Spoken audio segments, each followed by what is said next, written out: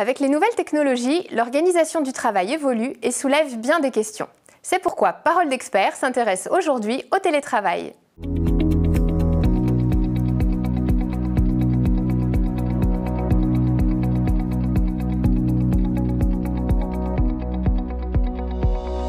Bonjour à tous, bonjour Christophe. Bonjour Bénédicte.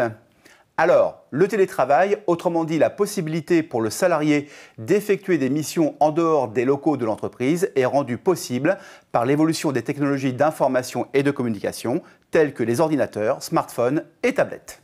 Oui, une organisation qui présente de vrais avantages, mais qui pose à l'employeur quelques questions pratiques auxquelles nous allons répondre.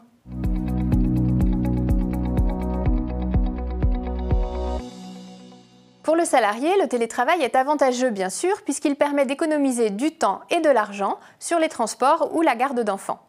Non seulement il améliore le bilan carbone, ce qui est appréciable, mais il apporte aussi un meilleur équilibre entre vie professionnelle et personnelle.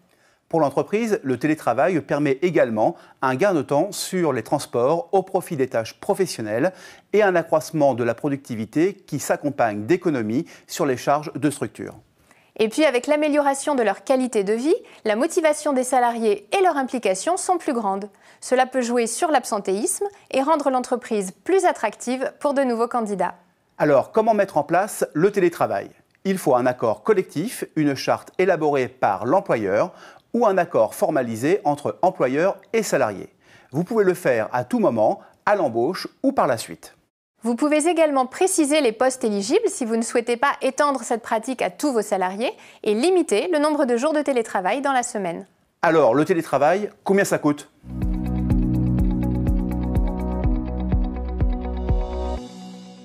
Première question, un salarié travaillant de chez lui peut-il demander qu'on lui rembourse une partie de son loyer, Bénédicte? Alors, il n'existe pour l'instant aucune précision légale à ce sujet. Cependant, vous pouvez envisager une indemnisation sur la cote-part des frais réellement supportés, en prenant le montant du loyer, des taxes, des charges et de l'assurance habitation au prorata de la superficie affectée à l'usage professionnel. Concrètement, pour un appartement de 70 mètres carrés, dont 10 mètres carrés sont affectés à l'usage professionnel au loyer mensuel de 800 euros et avec une prime d'assurance mensuelle de 40 euros, les frais professionnels sont de 120 euros par mois. Ajoutons qu'un remboursement des frais peut être envisagé si cette organisation du travail est imposée. A l'inverse, si le télétravail est demandé par le salarié, cette indemnité ne sera pas forcément due. En revanche, en tant qu'employeur, vous êtes obligé de prendre en charge tous les frais induits par l'activité professionnelle. Accès Internet, coût du matériel, des logiciels, des communications et des consommables. Vous devez aussi mettre à disposition du salarié les outils nécessaires, comme une ligne téléphonique professionnelle. Alors, une fois tout cela mis en place, comment s'organise le travail?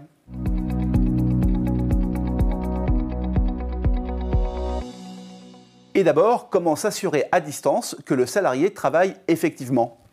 Eh bien, la confiance réciproque est l'un des enjeux du télétravail. Mais quelle que soit l'autonomie de votre salarié, un contrôle régulier fait partie des prérogatives de l'employeur.